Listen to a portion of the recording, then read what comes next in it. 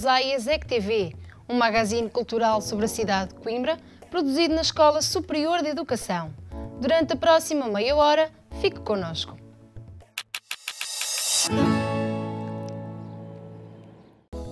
Pedro Calero no Hammond, Paulo Bandeira na bateria e André Fernandes na guitarra. Juntos formam CBF Trio um projeto onde a exclusividade e o som do órgão Hammond marcam a personalidade desta formação. O repertório combina composições próprias e standards de jazz clássicos com sabor a blues próprio deste tipo de instrumentação. A improvisação é o pilar fundamental da sua música. Convosco, CBF Trio em concerto no Quebra Jazz.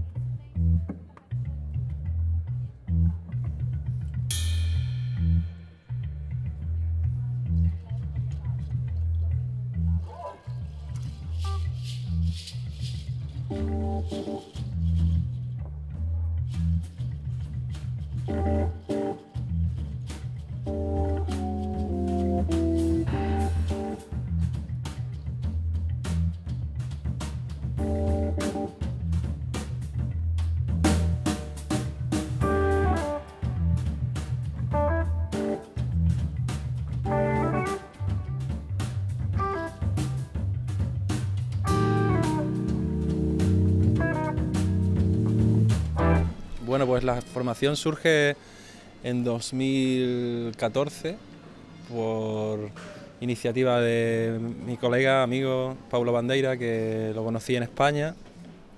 Y bueno, empezamos a, estar comunicados, haciendo formaciones también, de otras formaciones de jazz. Y ya habíamos tenido contacto también a trío con órgano, guitarra, batería. Y bueno, eh, la incorporación de Andrés fue también por medio de, Paulo, que él faló con él y decía, ¿por qué nos, nos juntamos y hacemos un trío con órgano? Entonces, bueno, surge un poco de, la amistad que, que me une a Paulo.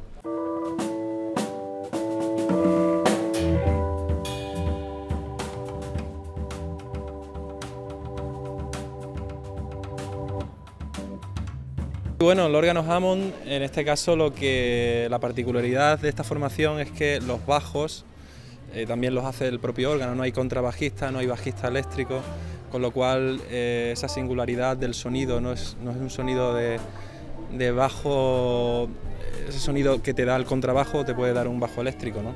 es un sonido muy, muy peculiar.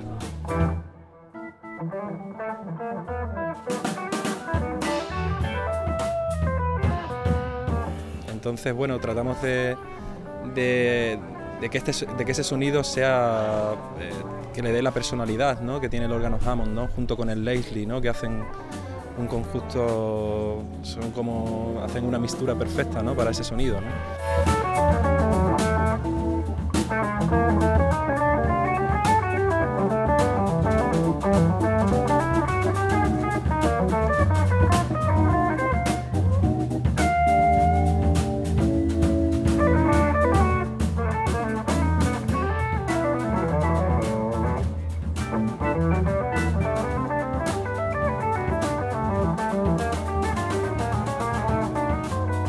yo soy pianista, no me considero experto en, órganos Hammond, pero sí que siempre tuve mucha curiosidad por su sonoridad, ¿no? Entonces digamos que sí que tiene esa personalidad porque el órgano le da a los temas otra sonoridad y otro tipo de, clima, ¿no? de atmósfera.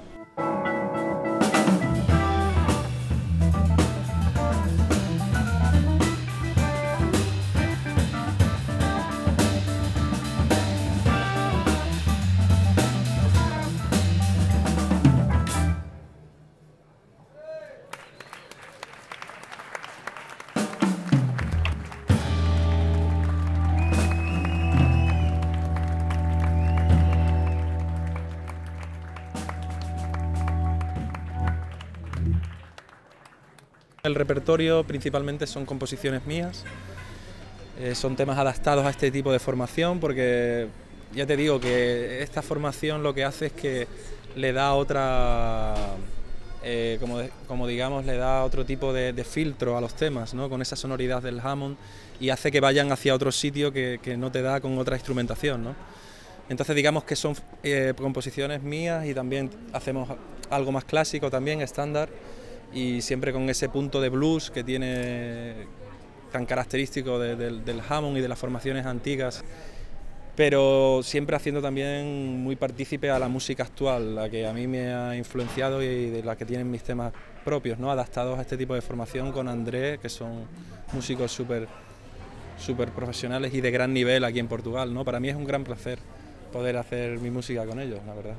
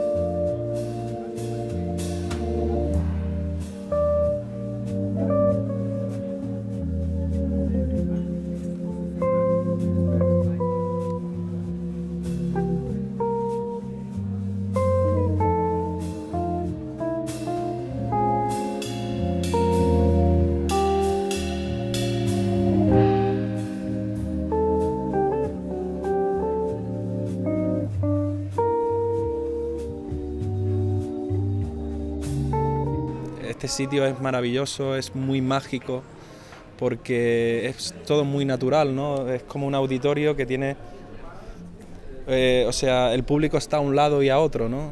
Y, y eso da una sensación en el, en el, propio escenario que se convierte que en la misma rúa, ¿no? En las cadas es todo muy mágico. El son también es, es especial, tiene mucha voz acústica. Quedé fascinado ¿no? por el sitio, por el ambiente, muy muy especial de los sitios más especiales donde, donde siempre toqué jazz, la verdad.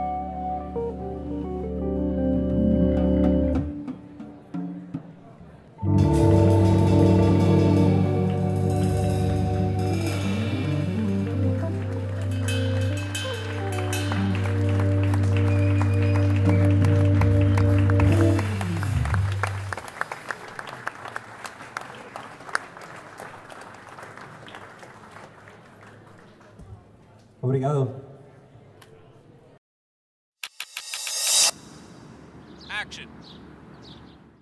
O Politécnico de Coimbra deu as boas-vindas aos novos alunos em grande festa, que teve lugar no pavilhão multidesportos Dr. Mário Mexia. O dia contou com as intervenções do presidente do Instituto, da presidente do Conselho Geral e do representante dos estudantes. A festa ficou também marcada por algumas atuações musicais, e um momento com o humorista Nilton.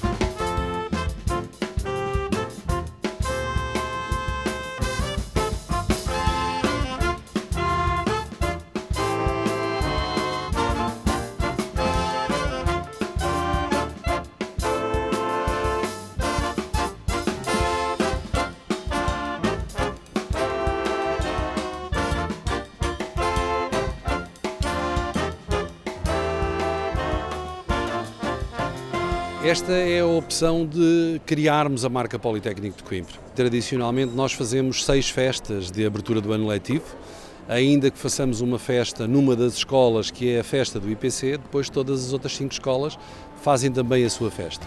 Este ano decidimos em Campo Neutro, se é assim que podemos chamar-lhe, fazer uma festa para todas as escolas do IPC, tentar trazer todos os alunos ao mesmo espaço e falar a uma só voz para esses alunos. Esta é a aposta de que tenham orgulho de dizer quando partirem com a sua formação uh, na mão, quando partirem com o seu diploma na mão, dizer que se formaram no Politécnico de Coimbra. Isso não é fácil. As nossas escolas têm todas imagens muito fortes, portanto é com eventos desta dimensão, é com salas desta dimensão que nós pretendemos fazer isso, juntando toda a gente com o mesmo objetivo. Achei a recepção formidável, o, a equipa toda da IPC está fazendo um bom trabalho e só tenho que agradecer por, por essa recepção. Tivemos mais uma noção do que é que é o IPC, porque acho que as pessoas não têm bem noção da quantidade de escolas que engloba e do número de alunos que o IPC tem neste momento. Escolhi o IPC porque era uma opção perto de casa, uh, pareceu muito bom por aquilo que ouvi falar e li e porque é uma boa instituição. Por ser mais ligada à vertente prática, o que acho que é uma ferramenta bastante boa para o nosso futuro.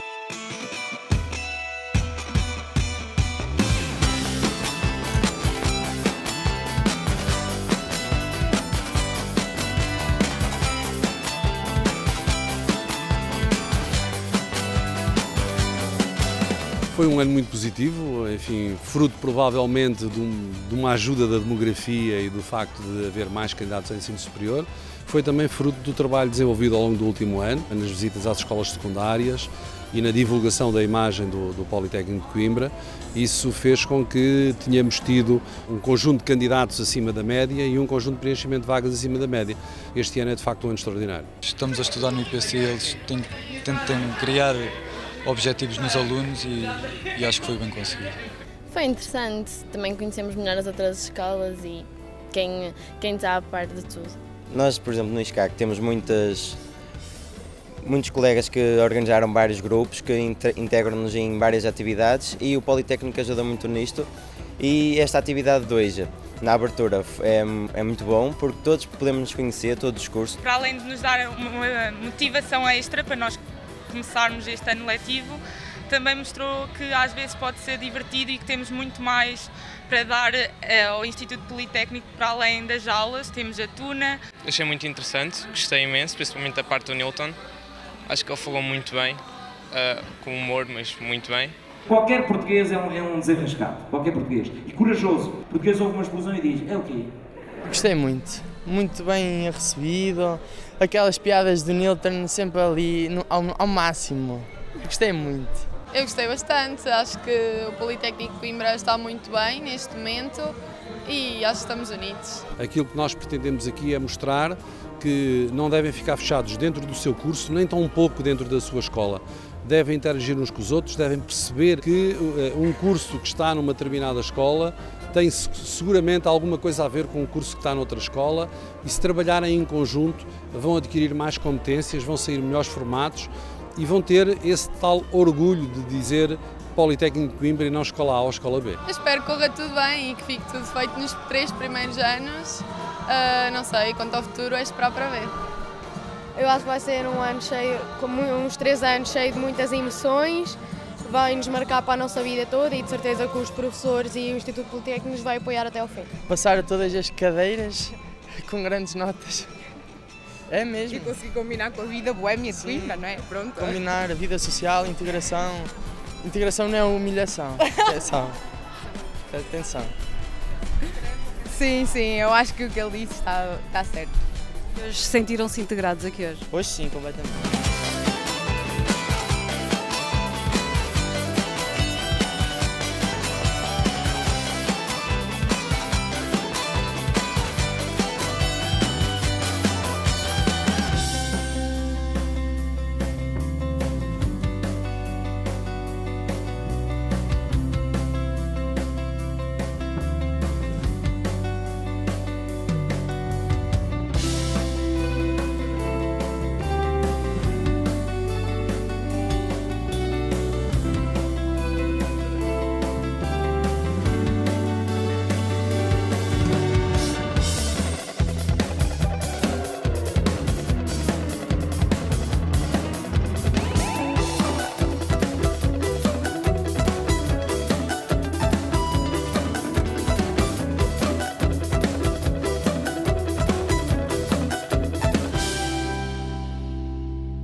Um grande encontro anual do Politécnico de Coimbra com a comunidade científica, com a comunidade empresarial.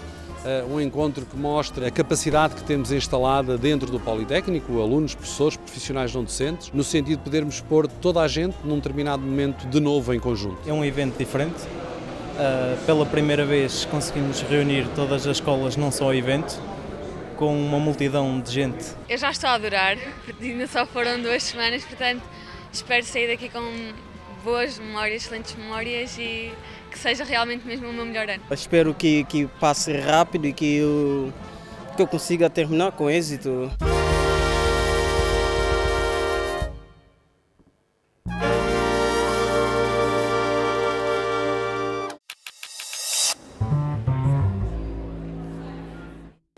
Na rubrica Sítios desta edição, conhecemos alguns dos lugares preferidos por João Moreira, guionista e criador da personagem Bruno Aleixo.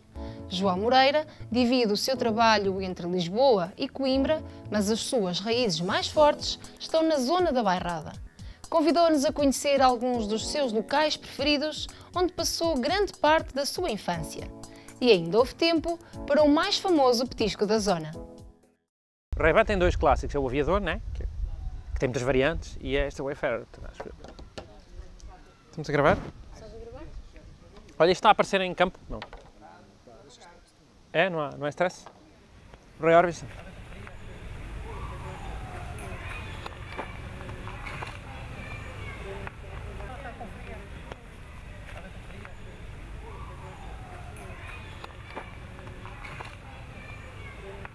Toda a minha família é oriunda daqui do Conselho da Nadia, praticamente, ou daqui da zona da Bairrada, portanto, há uns ou outros que podem ser dali de, mais de Conselho de Catanhede e Melhada, etc. Mas a maior parte é, a esmagadora maioria é do Conselho da Nadia, que é onde nós estamos, estamos na Coria. Opa, e eu, a verdade é que passava cá as minhas férias todas, quando, quando os meus avós eram vivos, e, e basicamente eu lembro-me que ficava em casa da minha avó, que é aqui a meio de 18 km, e vinhamos passar as tardes todas aqui para a Coria, portanto, por isso é que eu tenho aqui muitas. Agora, queres alguma história específica? É isso? Histórias específicas não são boas de contar, porque normalmente aquela faixa, faixa etária que eu passei aqui é, é profícua em histórias que, que, ou melhor, que merecem ser contadas, mas que não devem ser contadas em televisão. Portanto.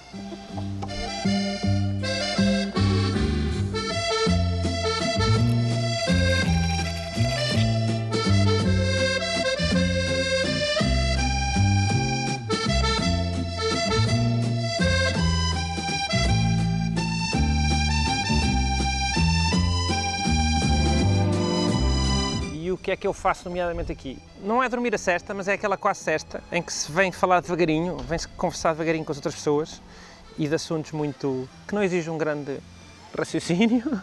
O tempo áureo daqui, desta, da Mata da Coria da Coria, terá sido muito antes de eu nascer, né? anos 20, o grande hotel dos anos 20, acho eu, 30, 40, etc. Portanto, aí é que terá sido o grande auge desta coisa. Agora está semi, não vamos chamar de decadente nem abandonado, mas já, já, não, já não está, já não está.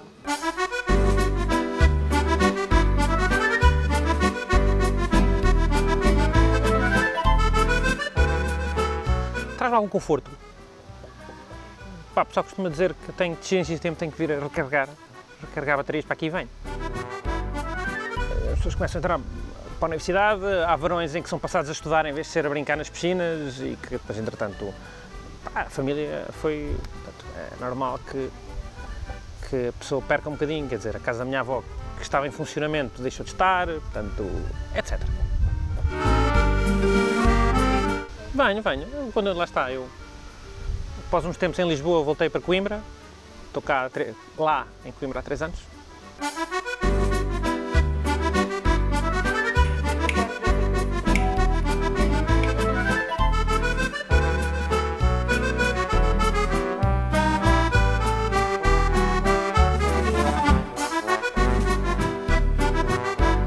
Sempre posso vir aqui, tipo, sei lá, 15 em 15 dias, dou cá um saldinho a tal desculpa que eu falei, que é aquela sandezinha que há lá, aqui é 2 km, 1 km vá, e que serviu de pretexto para esta, para esta vinda aqui à Coria.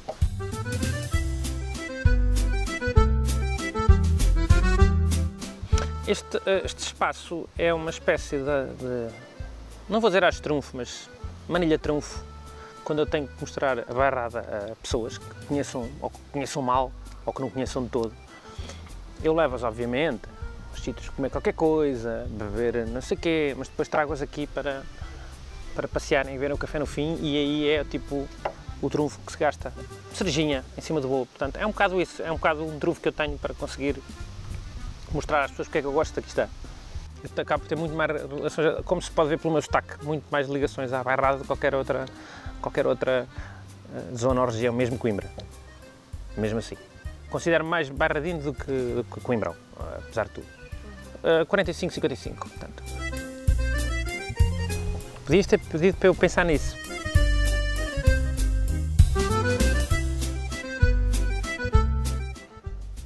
Não vou dizer que, que o centro de Coimbra é rural também, mas tens uma vivência rural muito próxima, ou seja, tipo, a meia dúzia de quilómetros já estás, já estás no campo. Aliás, isto aqui estamos a 20 quilómetros de Coimbra, portanto, essa valência, conseguir uh, sair da cidade em 10 minutos e ter logo uma série de... Costuma-se dizer que os melhores restaurantes até não são na cidade, são à volta, tipo, nos conselhos limítrofes, digamos assim. Pá, esse tipo de, de vivência mais tranquila, mais calma, que tu não tens numa grande cidade, eh, eu acho que, que é a que eu prefiro e, portanto, eu digo que sou urbano ou rural. Eh, urbano como convém, rural como convém também. Felizmente, o, o trabalho que eu tenho na, na, na, na, na Antena 3, como a RTP tem estúdios eh, lá em Coimbra, permite-me viver aqui sem, sem grandes stress. Mas sim, acho que pá, não vou dizer que faço questão, porque se eu estivesse noutra, noutra, noutra estação de rádio ou tivesse outro emprego, pá, tinha, tinha que ir para Lisboa e calava. Mas enquanto não tiver, enquanto não tiver, não sai daqui.